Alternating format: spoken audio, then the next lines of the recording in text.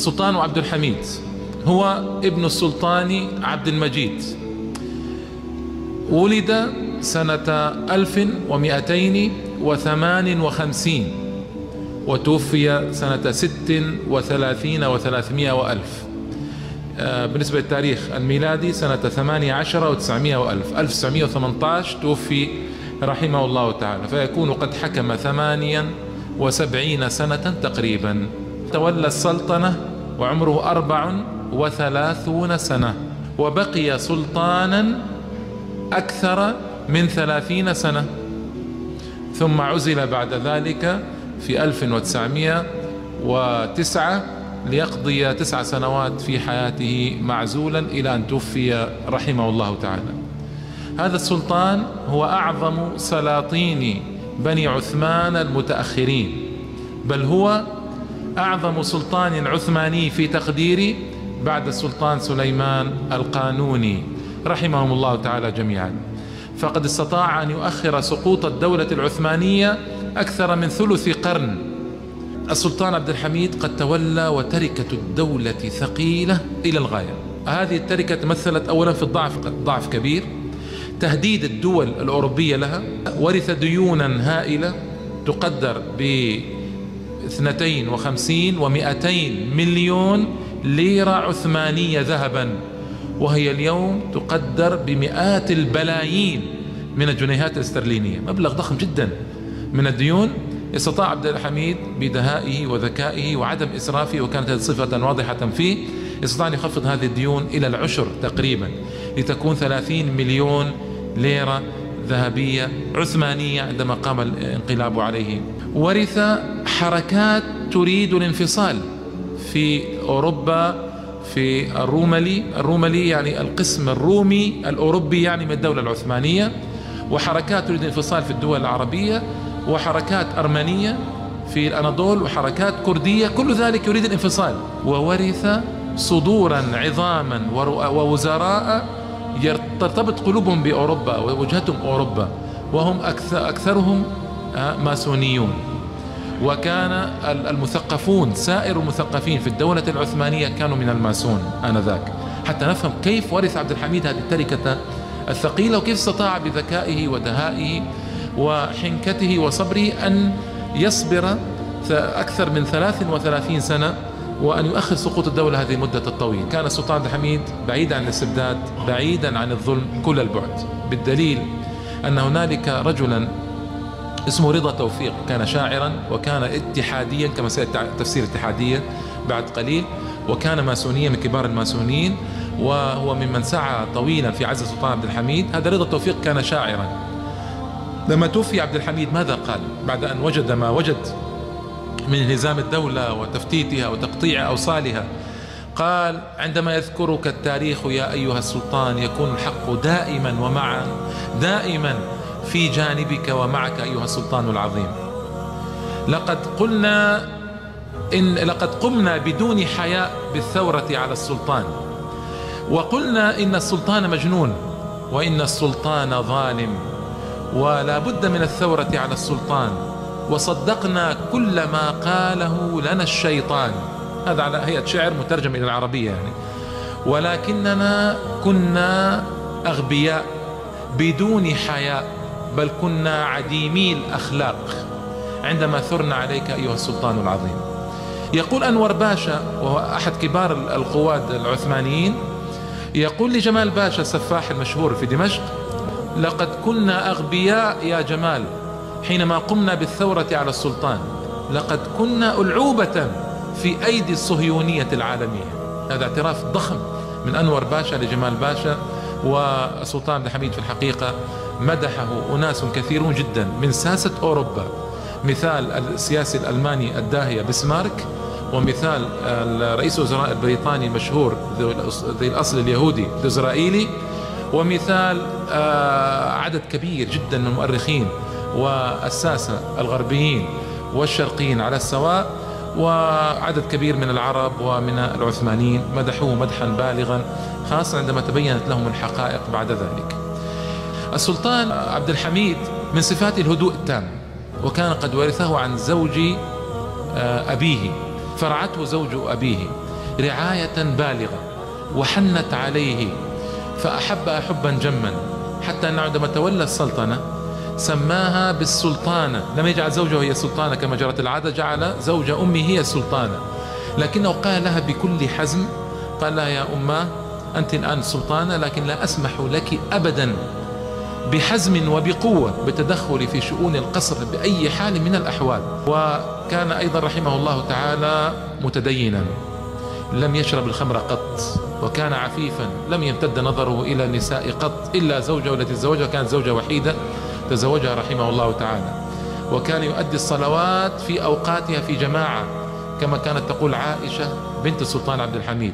ولعلكم تقولون ما الغرابة في هذا؟ لا الأمر كان غريبا لأن السلطان كان قد تربى في قصر كان القصر كله اتجاهي أوروبيا وكان الخمر شيئا معتادا للأسف الشديد خاصة مع صدور التنظيمات واحتكاك الدولة الكبير بأوروبا وكان الأمراء يسهرون خارج القصر في سهرات حمراء لكن السلطان كان ما يعرف هذا أبدا لا أثناء إمارته ولا أثناء سلطنته بل كان مشهورا بأنه يأوي إلى بيته وإلى أسرته ويهتم بشؤونها دوما وأبدا. وكان صاحب جد ومثابرة في العمل فقد كان يعمل كل يوم منذ تولى السلطنة إلى أن عزل أربع عشرة ساعة يوميا وكان بعيدا عن الإسراف كل البعد حتى أنه كان وهو أمير يرتق حذاءه بنفسه يرتق حذاءه بنفسه. وكان الأمراء يستهزئون به ولا يهتم. وكان يبتعد عن الإسراف تماما وقلت لكم لما تولى شؤون الدولة كيف استطاع أن يخفض الديون إلى العشر تقريبا. بالسياسة المتقشفة التي كان يتبعها في بلاده رحمه الله تعالى. وكان صاحب حنكة وصبر ودأب. وكان من حنكته وسياسته أنه استطاع أن يفرق الأعداء أعداء الدولة العثمانية ولا يجعلهم جبهة واحدة ضده. ويضرب هذا بهذا وهذا بهذا حتى لا يجتمعوا جبهة واحد ضد السلطان عبد الحميد. كان السلطان من صفاته الكبيرة. المحمودة أنه كان يتجه إلى ما يسمى بالجامعة الإسلامية. في وقت كانت الدولة قد غربت تماما وكان يرسل المشايخ الإسلام وعلماء المسلمين إلى الأكراد ليهدئهم ويسكن من ثائرتهم باسم الإسلام. وكان يعمل شيء نفسه في في ولايات الدولة العثمانية العربية وغير العربية. وكان يقرب إليه مشايخ وعلماء من الدول العربية وغيرها كل ذلك يريد ما يسمى بالجامعة الإسلامية وكان يقول إن القوة الحقيقية للدولة العثمانية تكمن في الجامعة الإسلامية وأنه بالإسلام يجتمع المسلمون وسيكونون يوما ما قوة تضرب رقاب الكفار وتطردهم من بلادها. كان أيضا ومن العجائب أنه في الصين قد افتتح معهدا حمي يسمى المعهد الإسلامي الحميدي نسبة إليه. في الصين ولما افتتح ذلك المعهد وجاء الصينيون ليحتفلوا بكوا من لأنهم كانوا يجتمعون في قلوبهم مع السلطان العثماني والخليفة العثماني. كان خليفة عاما للمسلمين وكانت قلوب المسلمين معه تحبه وتؤيده وتشد من أزره. حتى عندما عزل كانت هناك جريدة هندية أرسلت برقية كلها أسف وأسى بعزل السلطان عبد الحميد السلطان العظيم السلطان المصلح كما قالت أو نصت البرقية. في معاني كلماتها. وكان يقاوم التفسخ الغربي الوارد إلى بلاده. حتى أنه عندما بدأ يلاحظ وهو سلطان بدأ يلاحظ أن بعض النساء تخلينا عن اللباس العثماني وصرنا يلبسنا اللباس الأوروبي. ليس بالطريقة الفاضحة اللواتي يلبسنها النساء اليوم للأسف في الدول العربية والإسلامية لكن تخلينا عن اللبس العثماني الجميل والغط... التي تغطي فيه المرأة وجهها آه، يشمك هذا المشهور العثماني. فأصدر مرسوما إلى الحكومة ليعلقوه في الشوارع وينشروه في الصحف أنه ليس لامرأة أن تسير في الطريق بدون أن تغطي وجهها بالنقاب العثماني المعروف وعلى النقاب ألا يكون شفافا يبرز الوجه وجعل أمرا إلى الحكومة وإلى الشرطة ليتعقب النساء اللواتي يخالفن هذا الأمر. إلى هذا الحد كان صارما في هذه القضية. جزاه الله خيرا ورحمه. ورفع درجته في عليين. مما يحمد السلطان عبد الحميد في الحقيقة موقفه من اليهود. دخل عليه هذا ثيودور هرتزل وطلب منه إنشاء وطن آه، قومي لليهود في فلسطين. على هيئة مستوطنات صغيرة في مناطق حددها له. وأمله بآمال وأعطاه وعودا هائلة في مصلحة الدولة كلها. آه، منها أن يحمي الأسطول البحري العثماني التجاري في المياه الأوروبية من القراصنة. منها إخماد الثورات التي كانت تقوم دائما على الدولة في الصرب وفي جبل الأسود وفي بلغاريا وفي اليونان. منها تسكين ثائرة الأرمن. منها قضاء ديون الدولة العثمانية. منها هدية شخصية لسلطان عبد الحميد تقدر بخمسة ملايين ليرة ذهبية عثمانية مبلغ هائل جدا. منها ومنها يعني أمر يسير له اللعاب في الحقيقة. لكن السلطان رفض رفضا قاطعا وطرد هرتزل من مجلسه وقال إن هذه البلاد التي رواها أجدادي بدمائهم لا يمكن أن أسلم شبرا واحدا منها إليكم. وقال قولة عجيبة.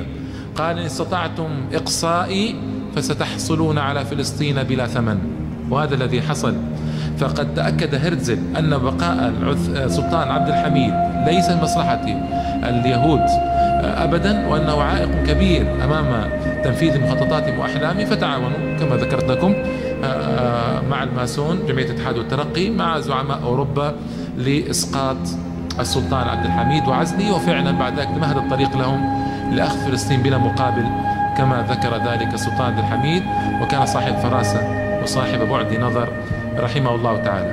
مصيبة السلطان عبد الحميد أنه لم يؤت رجالا وهذا صرح به كثير من ساسة العرب والغرب المسلمين والكفار أنه لو كان هنالك رجال يعاونون السلطان عبد الحميد مخلصون لاستطاع أن يتقدم بدولته تقدما كبيرا جدا أو أن يقترب من مستوى الدول الأوروبية آنذاك بحكمته وبعد نظره و